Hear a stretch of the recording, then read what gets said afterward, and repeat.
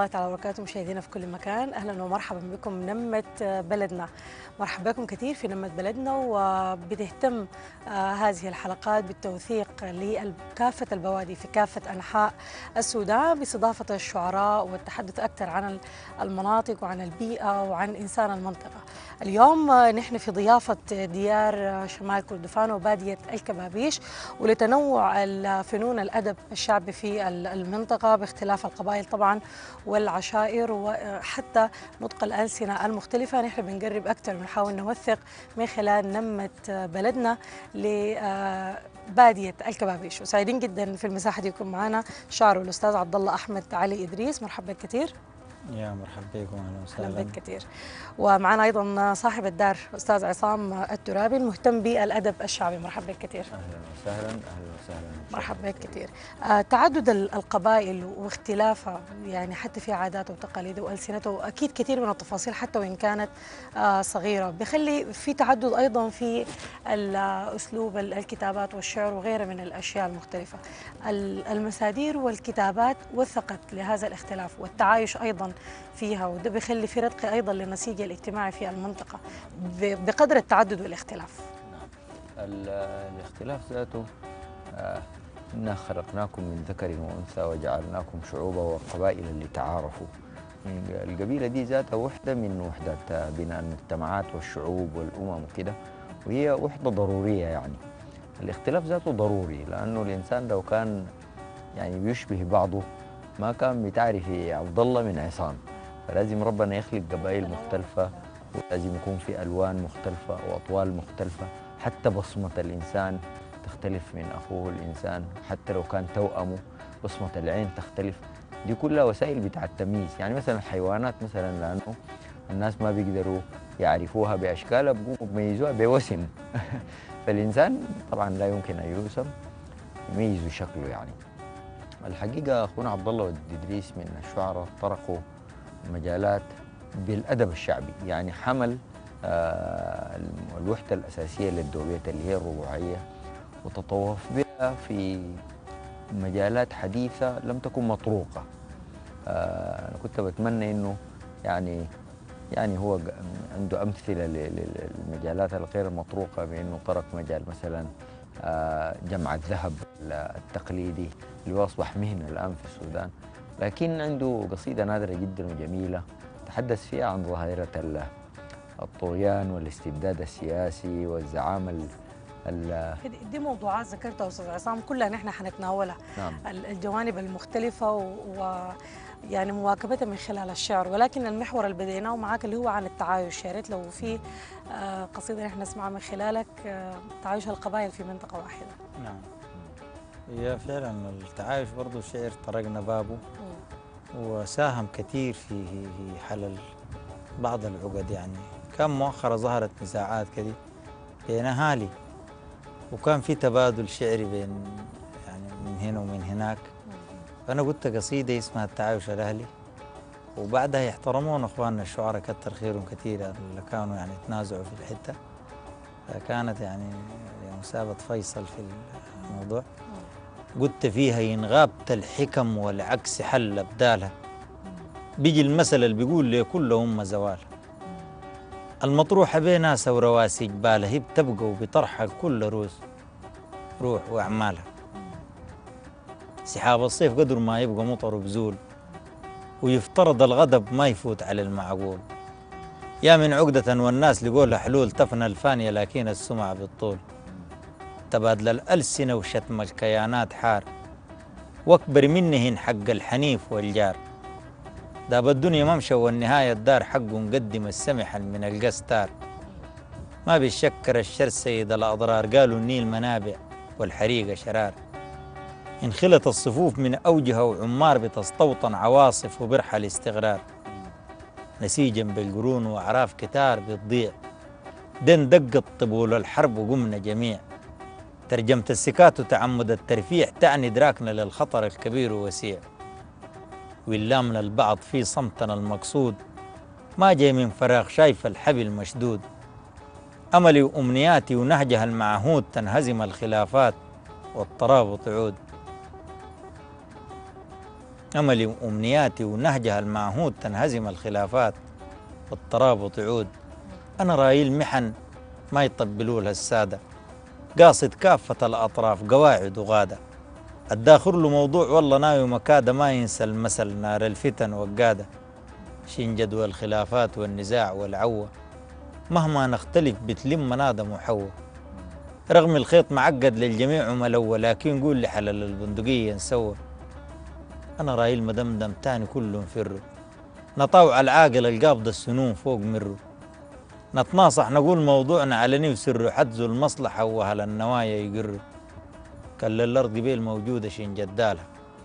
وكان للموية كل الأمة محتاجة لها انهدت النفوس وتغير الفيبالة تارس ما عليها الأرض وهي في حالها. يا من أمة خلت الأمم قبالها ما بتتحدد الدنيا وطموحها مالها. أنا رايل قبايل باديتها وحلالة تنبز نبرة العنف اللي بفت توصالها وأما الناقة بتسوي العوج معروفة صناعة كوارث مهجرة ومجروفة. تلك أحداث طبيعية وأمور مألوفة لا تعني النظارات سلطة المخلوف. بيوت السلطة أكبر من نزاع وشكاوي. قادر يتجبر المكسور وقادر يداوي. قبل ما تربط الغمم صواقع وخاوي ينكفوا السواعد الحلل ما بقاوي صفصفة الضماير حاجسة وتخمينها دي اللي بتغنن الأعراف ودي اللي بتصينها. كتر الململة وقدر الوجوه جبينها هدت ثابت الوحدة ونسف تامينها وأما الشعراء دورهم في القبائل هام لسان حالها اللي بيجسد كافة الإعلام. الفهم اللي بيقدم سيده لا قدام نبقى عليه وما تبقى الحكاية كلام. وقت الداعي يدعو والمسطر يكون. نتقادل بتلابة كبار وقرون. جرح السيف قدر ما يبقى أمره بهين على جرح اللسان ديمة الدهر طاعون. القصد إنه من ناخر نوايا ضميرنا. واضحة نفسر الجمهور قبل تفسيرنا. أصلا باختصار القصة في تقديرنا أصغر من تأرق ذهننا وتفكيرنا. الناس بالحكم حلوا الكبار وقواسي. والبسع السفل لازم بحور ومراسي. النظر الطويل والمنهج المتواسي يطوي كل موضوعا وراه إحساسي.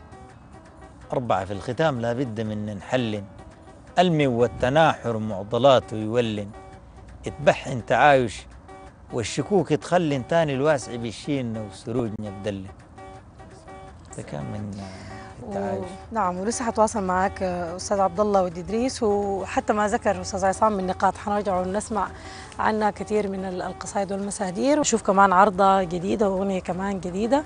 ونرجع لكم مرة ثانية نمت بلدنا.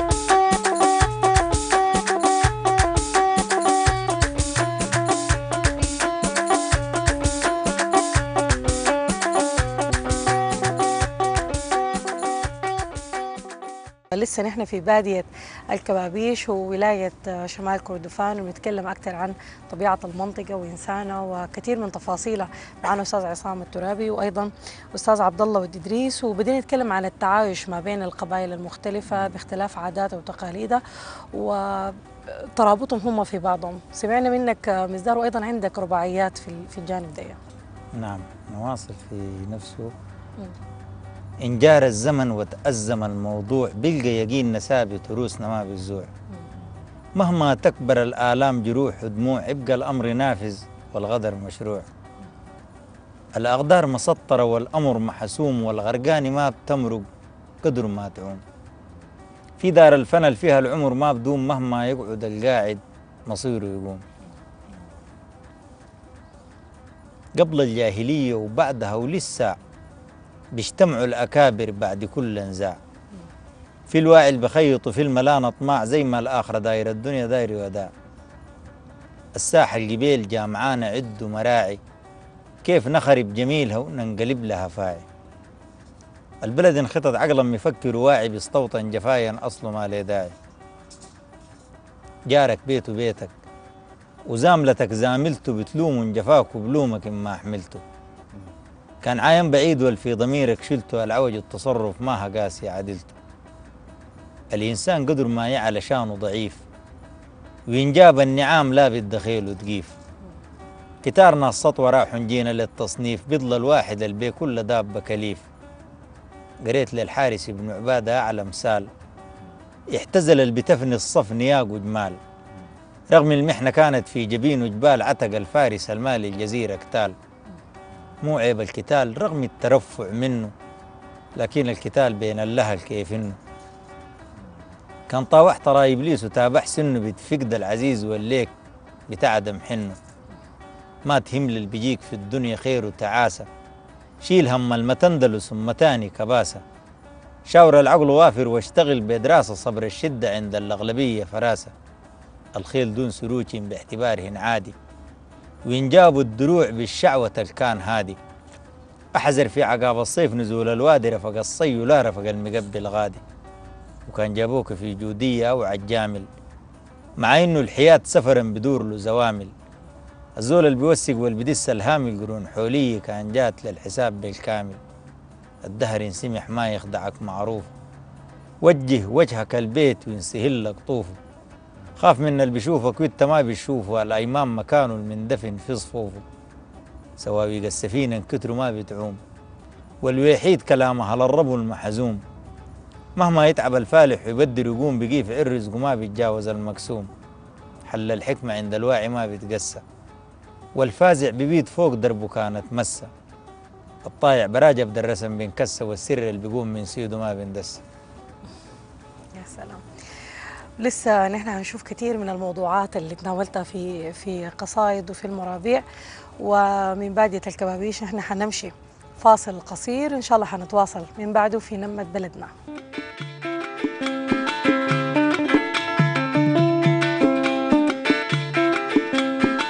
أهلا من جديد ولسه نحن متواصلين معاكم من بادية الكبابيش والحديث عن موضوعات يمكن قدم لنا أستاذ عصام الترابي و... وتناولتها أيضا في كثير من المسادير عندك أستاذ عبد الله ودي إدريس ومنهم مزدار الذهب. وأكيد بيكون في كثير من القضايا والموضوعات المتعلقة ببادية الكبابيش انت تناولتها أيضا في المسادير والمرابع. فكلمنا الدعوة أو اللي خلاك أنت تكتب في الحي ده وتتكلم عنه نعم الذهب ثروه طبعا ظهرت في العديد من مناطق السودان. وعندنا برضو في بادية الكوابيش والناس اترزقت منها كثير وكلنا اشتغلنا في المجال ده. آه، أثرت على الناس وغيرت أثرت حياتهم وغيرت الحياة و... النمط الاقتصادي نعم بتاع نعم نعم كسبهم لا لعيشهم. لا غيرت الحياة توتال يعني مم. وصلت ناس آه، محلات بعيدة فالحمد لله كلنا اشتغلنا في مجالها وترزقنا فيها وكانت هي نوعين طبعا الذهب بالأجهزة مم. اللي هي فوق سطح الأرض وال- والحفر اللي هي أبار مم. فقلت ونحن بنرتب في أمورنا عشان نمشي. أول ما ظهر هو كان في الركن الأخير الشمالي للبادية اللي هو منطقة خلوية راهب وتقرو و راهب دي آثار الفراعنة. أيوه ودعة. مناطق يعني كانت خلوية بعيدة أول ما ظهر ظهر في المناطق ديك لكن نعم. تاني انتشر في كل ال... ونحن بنرتب للقيام قلت زودنا بعد إيماننا أمل وإحتاد. حتى نجينا للخبري ونظام الزاد طالبين من غني مستعان وجواد كاف للكون جميع بل فيه حي وجماد. مرقنا الليلة فازعين البيوج مو داكن.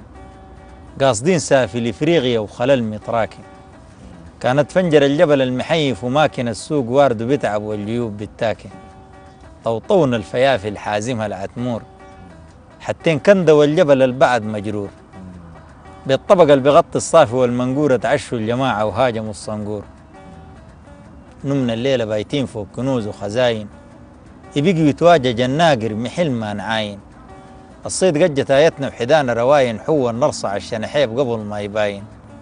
حديث الأجهزة وجوة صناعة البوم من التربة الناقر محل ما نقوم الصحراء الغير مغامر فيها زول ما بحوم فصلنا لها زي لونها ورمالها هدوم. الصي جاب تضاريسه وروايع إبداعه. إطراح الرمال وتستغر أوضاعه. اللي صدر البورصة وصمد في مباعه خلانا الهويد ما بيملى روسنا وساعه. دولة بن علي الصنع والربيع سوارها. فتشناها هي والنيجر اللي في جوارها. عتامير بقي يجيب القروش حجارها عندنا خبرة في طلوعها ومقاس لعبارها امسي علينا كاتف العج ويصبح لاوي وين ما نوجه الجبال محيف وحاوي الفوف اللي بيفيك من الشمال ليه خاوي ناوينا نحدب له الهندي زي ملاوي لو اندينا المثل ذاكنا الغمام الحيف ورلبي تواجج اندقش الغروب والريف. غير علوة وخل المطروح أمامنا الضيف نواشف زادنا وينفك الهوى من تكيف صوت الأجهزة وحس الروين الساربي. توجناه بجولتنا محظوظا كاربي. بالبوم اللي بيجيب روس السموع الهاربي نبعد وتقرب أخبارنا اللي بقت من الضاربي. قراد ودعي فتشناه حجر وسفافي هاجمناها بالليل النهار مو كافي. الصحراء الهويتة يبتب العنافي مشطناها بالطبق الجهاز وقيافي. طبقا عنده حزامي وسماميع راس. اتغتم تقول فوق الخلية نحاس بالعزم قرون والبوكلن أبو ضراس واتعب الجبل وقتين يهاجمون الناس. الصي جاب له خيرات كتار وخلايا. ناس اتصرفوا وناس بلغوا فوق الغاية. سند ناس كتار قبال ضعاف ومعايا لكن البعض طلعت قروش ودعاية. قبال الذهب في خزاين التجار لكن تاني عيل كان يرحل الحجار. درب العجنة في الفوق الثلاثين جار مخلي الصخرة زي فورمايكة النجار. راهب كلها وتقروا العجوز حمناها. بقينا شمال تشاد وكفر فيه ومناها. على اللي بيسمحين أمات خدود سمناها مخاطرا تبلع الزول بالعرض عمناها. نور الكفر بنشاف من محل خيامنا. حادبين للقروش مو بسهولة قيامنا في الرمل معجاج متغبرنين لا قدامنا ملحوقة العقابة تنجط قدامنا لابسين لبسة الصحراء وعمم سوار. الدايرنا علبة واسطة الأغمار. جهوزية وتأهب وحالة استنفار هريسي وحرامات عن وقود النار. صامدين في وجه محن تشق الرأس. دوافعنا الطموح مو قصة تكل ولباس طالبين من الكريم ما درنا من الناس وجود بمتعة الرزق البراح الراس ونستنا الخلايا وحظنا المم داقر البحلم بتسمع عنده خبر الناقر. رفق برسو واللاند اللي بيجي كان فاقر في الصحراء المرمش ناب ودافن عناقر. لقيت في الصحراء فرسانا شموخ وجساير والبل فيها شارف حدوب ورادع غفاير. فيها اللي بيلبسن مات خدود ومساير وفيها اللي بيشبهن رقبة وعيون وضماير. هور الوادي جينا مرتبين عبورنا. نمنا الليلة حاضنين السلاح في صدورنا. الفانية اللي بتفعل عوسة ما بيشورنا نقدل فيها وقبال ما دخلنا غبورنا. روين تنشار في فوق عالي ومجازي هويته شافتنا ونزل شايل الضريبة عقيته اللي تملك أعضانا وكبر تهديته ماخذ وصافة في الهاف والملامح حجيته يا رتاعة الصي الملبد ديفك. ذكرتينا سيد رقبة وعيونا كيفك. انت مصيدي من الناس خريفك وصيفك ونحن نجابنا نتخيل خدود في طيفك. شاركنا الوحش في صي والصيد والف. جرارق النجبر الكسر القديم ومزالف. زورنا ندارنا في الصحراء مسموم خالف من دبج له فوق روسنا وعلينا تحالف. نحن الصحراء عارفانا من عارف جورها. كتير حمناها بالخابط اليبيس فوق زورها. ضايق سروجنا ماخذة على المقلة دورها وضقنا مجفلين.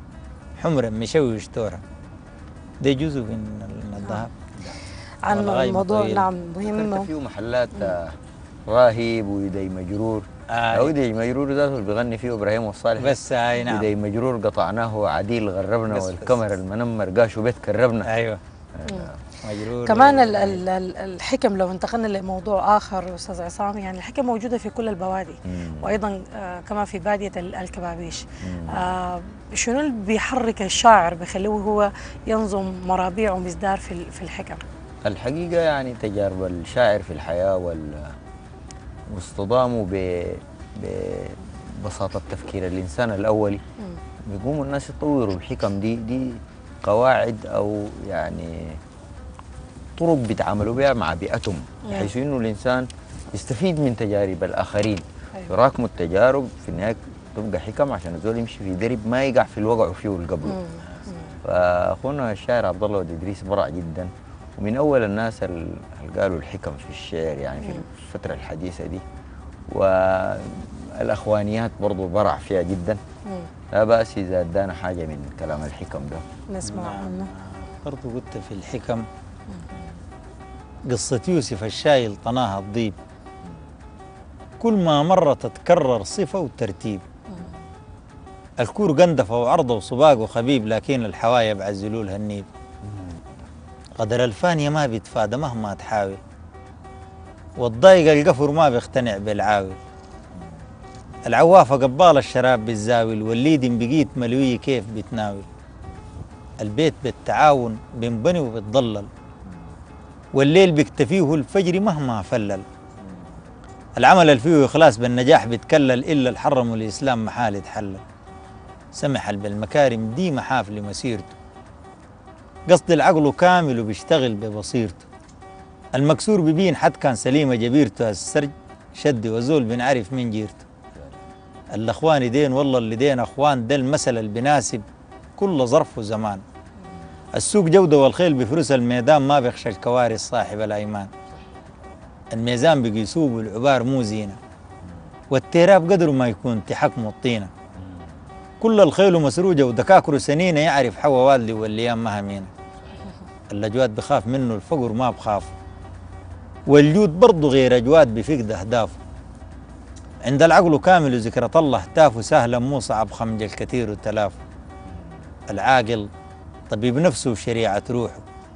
والفارس جبل قدر المحن ما تلوح. الحاج بالغمام لا بد من وضوحه والراعي المضاع والرشد بيبين في سروحه. القاصة الأثر بالنسبة للدوار. مطمن قدر ما يبعد المشوار. الباني القزاز والشايل الحجار بيساوي الجدع ويختلفوا في الأضرار. البفتل بمنع والبفت بتمعى. والدراك بكمل جهده وقت توعى. المكظال ما بضر قدر ما دعا إلا الوالدين فوق كل بدر شعى. العز في التواضع واليقين راس مال. والبالميم مراحم بيصهر الجفال. الريح بها النبي والصحابة بلال غير هزول بتلي بلا عتب لا أحبال. صلاة في الوجوه غرة وشعاع ومنارة. نبقى عليها شيب وشباب نمن نتوارى قبيل كان مو المحيط البتة بالعبارة حقنا في الشريفة سياد محل مو زيارة. القبة الشمال من كعبة المكسية. لينا عليها قلب بني رش وعندنا نية.